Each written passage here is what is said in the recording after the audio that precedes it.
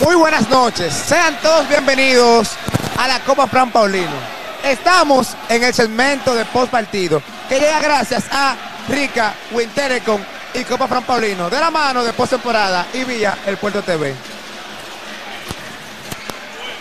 Ey, Estamos en el acabando de ver el partido que ha sido el mejor partido más hasta épico, ahora. el más de la regular.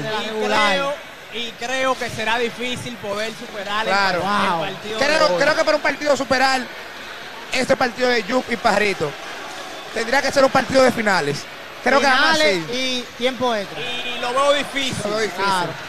porque el calor que había hoy en este poli Sí, sí, sí. hacía años que no se veía. Eh, nos equivocamos todos con New Pajarito York. Acaban de clasificar en segundo lugar. Y nos dejaron, Con la boca. dejaron con la boca abierta. Wow. ¿Qué fue lo que no hicieron los demás equipos? Que, que, su- que dijimos que se quedaban. Como dijo el profesor Jason, nunca subestimes El, El color mamey. mamey. Ya tú sabes. Ey, estuvo profundo. Fuego eso. mandó el Jason ahí. eh. Le voy, a, eh, le voy a decir una vaina a los dirigentes de Villa Altagracia. Porque ellos se ponen a discutir, dije que le den, dije que ellos usen su cuchillo y no le han dado su pergamino. oh, ya, ya, ya. Los dirigentes de Villa Altagracia, aquí hay dos dos dirigentes nada más Ay. que puede hacer que se merezcan ese, que se merezcan ese pergamino.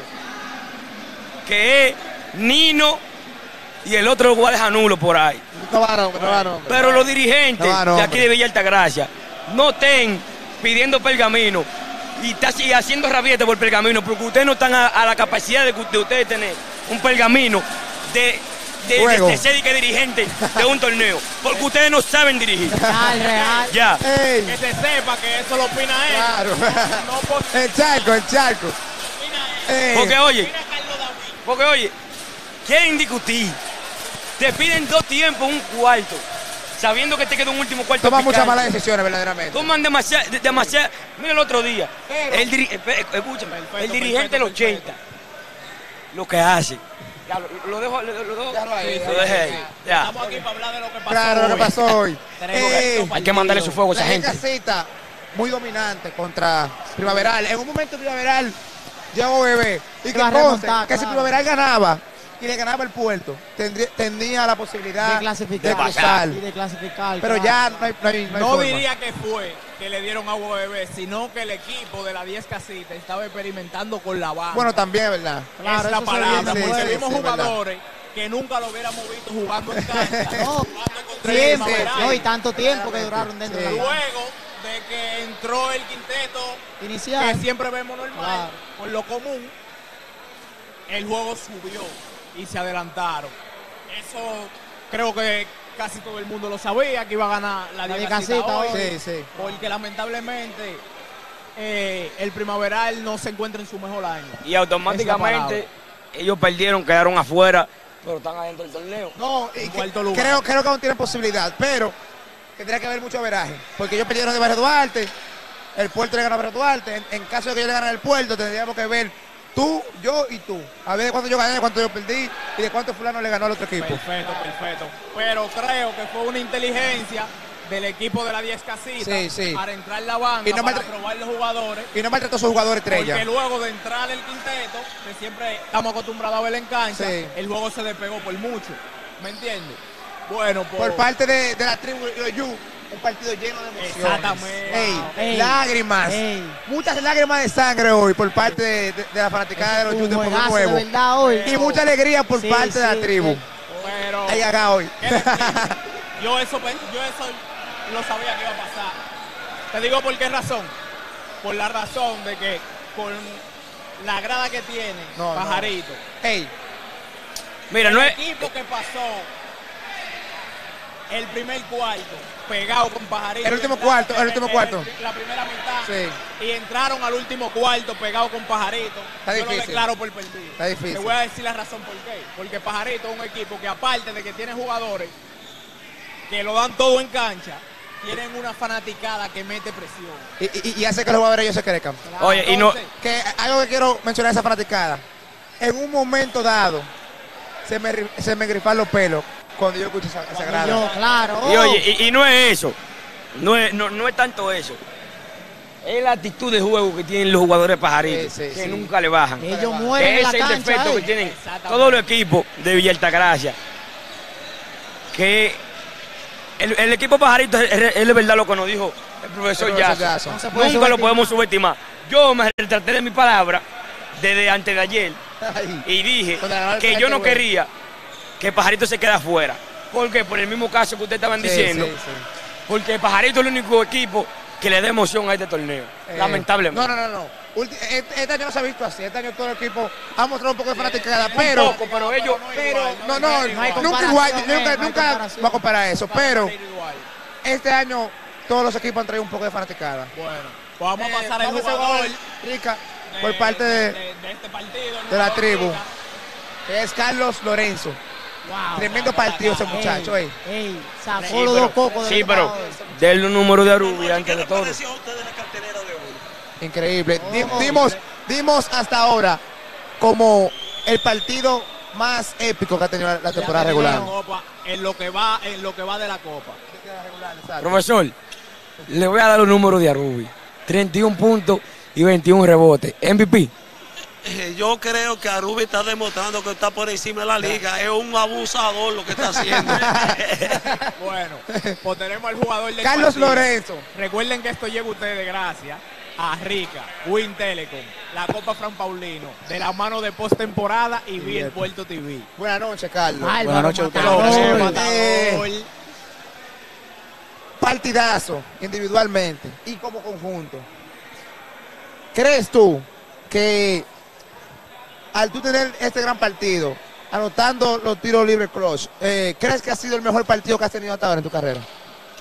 Claro que sí, porque yo, si ustedes ven, yo no tenía mucha participación en el equipo, ya que había más conjuntos, más jugadores de- que sobresalían más que yo.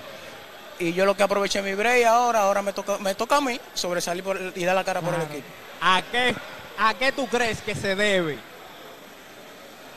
Bueno, e- e- ese partido que tuviste hoy, porque hoy te vimos sacando la No, cara. Hoy tú fuiste el Superman de pajarito. Increíble lo de por Carlos. decirlo. Sí. Si no fuera por ti, a la hora de tú meter esos dos puntos, ustedes no hubieran estado celebrando esa victoria ahora. No- no hubieran ¿A estado qué crees que se debe eso? No, nosotros venimos puestos para ellos porque, como ustedes saben, no es un secreto que todo el mundo nos dio a nosotros como el, el último equipo que iba a quedar en, en la... De eh, de calificado. Que íbamos para repechaje sí. el año pasado, el año que viene. Nosotros nos pusimos en mente eso, no darle el deseo a la persona. Wow, matador. Este, este partido tan importante para ustedes, que, lo, que tienen la posibilidad o ya están No, que clasificados. clasificaron en segundo lugar ya. clasificaron. Ustedes le callaron la boca a muchas personas que lo subestimaron. Hasta yo mismo pensaba que ustedes no iban para parte. Pero me uno al team de ustedes también ahora.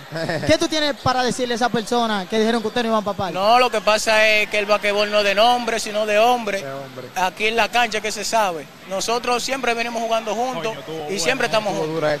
Eh, ¿A qué tú crees que se debe? Como decía el compañero aquí, antes de tu llegar, que todo el equipo que llega al último cuarto empate con la tribu, siempre muere. ¿A qué tú crees que se debe eso? Ah, pues tú crees que es fácil, el barrio entero que se muda para acá y a, bocear a Lo nosotros. mismo que veníamos hablando. ¿Qué expectativa tienes? Ya ustedes clasificaron. Clasificaron. Van para una semifinal. Semifinal, sí.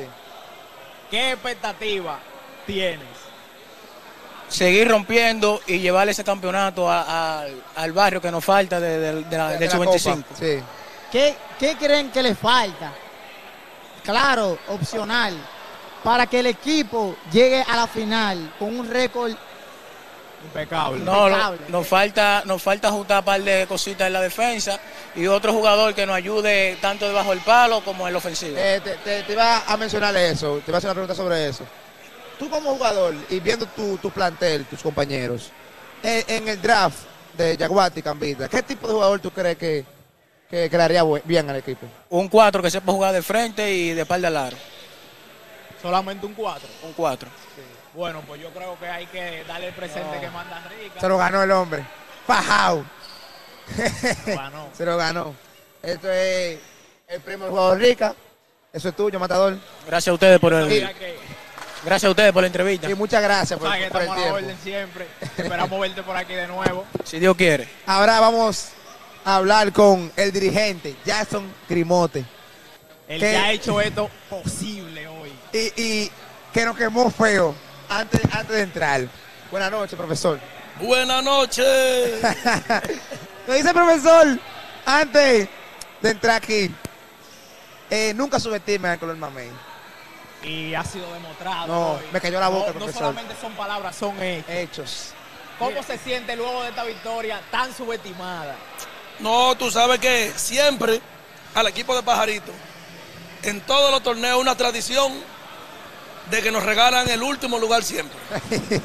No, tiene la razón. Porque Y el error más grande es usted subestimar a un enemigo. Nunca, nunca subestimes al enemigo. Porque yo soy de la persona que siempre te digo, está bien, en el ring nos vemos. No, y me lo dijo. Un equipo superior a nosotros y mire el resultado. Profesor, entraron a las semifinales el día de hoy. Pero yo le voy a, le voy a, a poner una suposición. Que usted, que mañana el equipo de Fernando Teruel le gane a los Yu. Y ustedes ganen el lunes. Entonces, el draft de nativo es rifado. Ah, se, sacrificarían ustedes por la Ruby. Arubi. No porque Arubio es un jugador, no. Sí que de la tómbola. ¿Quién no lo ¿Quién quisiera? no lo quisiera? ¿Quién no lo quisiera? Entonces nosotros lo tenemos que complementar de lo que nos falta. Y el- oye, el- ¿tú te imaginas el equipo de, de Pajarito? Con un gol de Arubi, Yaguate, uno de. Cambiti y Arubi. Mire, mire, mi hermano. No, y que No hay en, forma. en- en la entrevista que tuvimos con él en la parada mocana, el martes, Ey, mencionó eso, él claro. mencionó que ese sería el equipo con el que a él le gustaría El jugar. sueño de él es jugar con Pajarito. Tú sabes que tengo algo por ahí, pero no le voy a decir el nombre de un jugador. En estos días me dice, profesor, en el draft, ¿a quién ustedes van a coger? Y yo le dije, a ti. a ese jugador. Él sabe quién es. Y él me dijo, ¿cómo a mí? Ah, pues ustedes van para, para, para la semi. Digo yo, yo no sé, pero yo te voy a coger a ti. Yo te voy a coger a ti. Yo no sé. Yo te voy a coger a ti. Pero, pero, eh, pero era de ese mismo equipo. ¿Tú sabes qué pasa? El equipo de Pajarito juega con el corazón. Con corazón. Eso yo lo dije ahí. juega defendiendo, se lo dije los otros días. Defensa gana juego, defensa gana torneo. Otra cosa, que aparte de que son muy defensivos, tienen algo, su dirigente. Usted le da mucho ánimo Al a- equipo. al equipo. Sí. Siempre lo vemos ahí, ahí, y pitando. No, porque yo, pitando. yo le dije a ustedes que yo no me siento, yo soy una locomotora. Exa- Exactamente, y que lo vemos, que no es un manager eh, pasivo, es un manager No. que, que te está corriendo la cancha como si él te está pitando el juego. Todo el eh. tiempo activo. Cada que yo llego tengo que echarme pila de agua porque mojadito que estoy. Y- y, y confianza encima al de le da confianza a los jugadores. Exactamente, Exacto. esa Si no, mira cómo están jugando los novatos del equipo. Novato. Sí. Los U17. Y que conste, el único dirigente que se ha sentado dos veces aquí es el profesor Jackson. El profesor Y es Jackson. Por la actitud que él tiene. No. Pero- Ahorita yo dije una forma. cosa aquí. Que los dirigentes de aquí de Villa, algunos, ustedes hicieron unos cursos. Entonces, no le han dado su pergamino y están exigiendo pergamino. Yo dije ahorita que los únicos dirigentes que para mí se, se han ganado ese, ese pergamino es el Nene, Nino no. y usted. No dije que fue- No, no, no, no, no, Mira, qué pasa, no es curso, mira qué pasa. Ahora mismo ya tuvimos un par de reuniones con la Federación de Entrenadores de la provincia. Sí. La próxima entrevista próximamente ya va a ser quizá con el presidente de la Federación de Baloncesto de Villa Altagracia Sí. y la directiva. Estamos organizando. Hay que hacer la reválida cada vez que toque todos los años.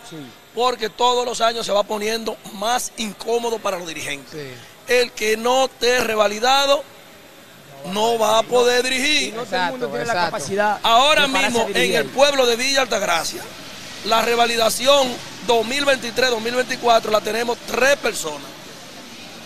Luis Portorreal Fori, Roquefeli Tavares y quien le habla. Y ya son Grimotti. Y para mí, para mí eso está bien, porque, ¿cómo te explico? Le Tú actualizas los conocimientos. A veces están creyendo que los cuartos, que esto, aquello.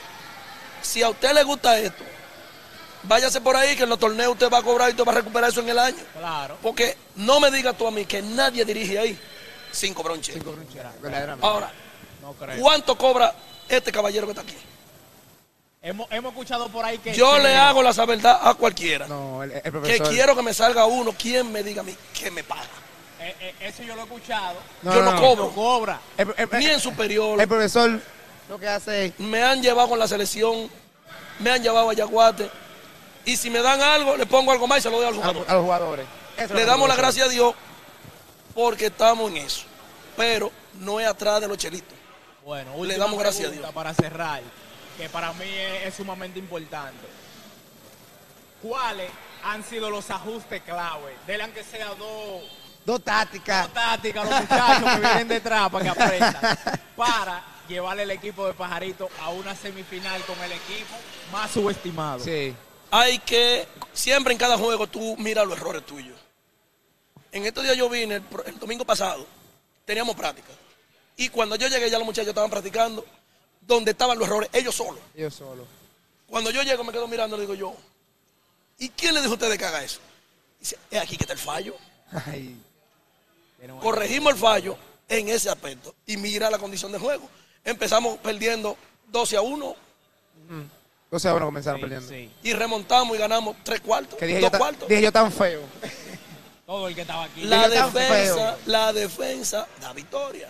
Y el equipo de Pajarito lo que hace es defender. Bueno, maestro, es más que un placer hablar con usted. Sí. Un hombre con tanto conocimiento sobre baloncesto y un hombre que ama tanto el deporte como el baloncesto. Sí. Eh, siempre lo vemos presente en todos los lados, nos lo hemos encontrado. Allá nos de encontramos. todo. Yo ruedo donde quiera que haya basquetbol. Es un placer y es digno de admirar porque si hubieran Diez dos Fran Paulino y diez y Jackson. cinco Jackson aquí en Villa, Pero es diferente la cosa. fuera diferente la cosa. Y Ha sido todo por hoy. Hay jugadores por ahí que lo tenemos pendiente para cuando se acabe esto, llevarlo para los programas al distrito. Oye. Un novaticos por ahí que lo vamos a ayudar y vamos a llevarlo a los programas del distrito. A ver qué sacamos. Nada, profesor. Gracias. Gracias a ustedes. Eh, recuerden que eso llega gracias a eh, Rica, Wintelecom, Copa Fran Paulino de la vía de postemporada y vía El Puerto TV. Oye, tú que estás ahí detrás, no te vayas todavía. No te vayas, no. Tenemos un sorteo por la página de Instagram de postemporada. Nuestro nombre es postemporada 1. Estamos casi ahí. Cuando lleguemos a los 500 seguidores, tienen 502 seguidores más destacados. Y lo seguiremos haciendo mediante vayamos El subiendo. transcurso, exacto.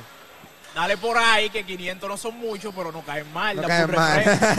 la entrada. VIP, do VIP. Rica, Wintelecom, Copa Fran Paulino, postemporada y El Puerto TV.